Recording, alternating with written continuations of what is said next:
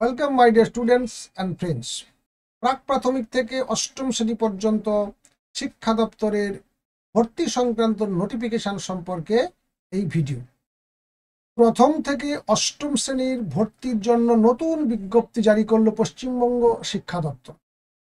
Corona আবহ কাটিয়ে উঠে ফের স্বাভাবিক ছন্দে ফিরছে জীবন, স্বাভাবিক হচ্ছে জনজীবন তেমনই স্বাভাবিকের দিকে এগোচ্ছে পড়ুয়াদের জীবনযাত্রা।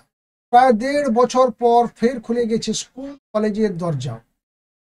তবে এখনও পর্যন্ত নবম থেকে দ্বাদশ শ্রেণির জন্য স্কুল খুললেও সামনেই আসছে নতুন বছর, শুরু হবে নতুন ক্লাসে ভর্তির প্রক্রিয়া।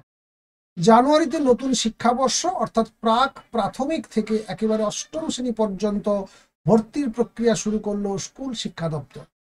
সেই সঙ্গে নির্দিষ্ট করে দেওয়া হয়েছে এই ভর্তির প্রক্রিয়ার ক্ষেত্রে কি কি নিয়ম প্রযোজ্য? স্কুল শিক্ষা দপ্তরের পক্ষ থেকে জানানো হয়েছে যে আগামী চোদ্দই ডিসেম্বর পর্যন্ত ভর্তির ফর্ম দেওয়া হবে। তারপরে পনেরো থেকে কুড়ি তারিখের মধ্যে হবে লটারি প্রক্রিয়া।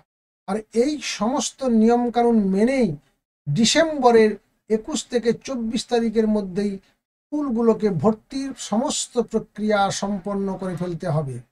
কোনো স্কুল যদি তাদের আসন সংখ্যা বাড়াতে চায় সেক্ষেত্রে স্কুল শিক্ষা দপ্তরের কাছে আবেদন জানাতে হবে। প্রাক প্রাথমিক থেকে অষ্টম শ্রেণি পর্যন্ত ভর্তির এই প্রক্রিয়ার মধ্যে নেওয়া যাবে না কোনো প্রবেশিকা পরীক্ষা। নেওয়া যাবে না পড়ুয়া বা অভিভাবকদের কোনো ইন্টারভিউ, এমনটাই জানিয়ে দিয়েছে স্কুল শিক্ষা দপ্তর। বয়সসীমার বিষয়ে বলা হয়েছে, প্রাক প্রাথমিকে পাঁচ থেকে ছ বছরের বাচ্চাদের ভর্তি নেওয়া হবে আর অষ্টম শ্রেণি পর্যন্ত এক বছর করে বাড়বে এই বয়সের সীমা। প্রয়োজনে স্কুলের প্রধান শিক্ষক চাইলে নির্দিষ্ট ক্লাসে ভর্তির নির্ধারিত বয়সসীমা থেকে ছাত্রছাত্রীদের বয়স চার মাস বেশি বা কমেও ভর্তি নিতে পারেন বিজ্ঞপ্তিতে। এমনটাই বলা হয়েছে। আরও বলা হয়েছে, যদি কোনো ছাত্রছাত্রী লটারিতে সুযোগ না পায়, তাহলে নির্দিষ্ট জেলার ডিআইকে জানিয়ে আগামী একত্রিশে জানুয়ারির মধ্যে তাকে স্কুলে ভর্তি করে দিতে হবে।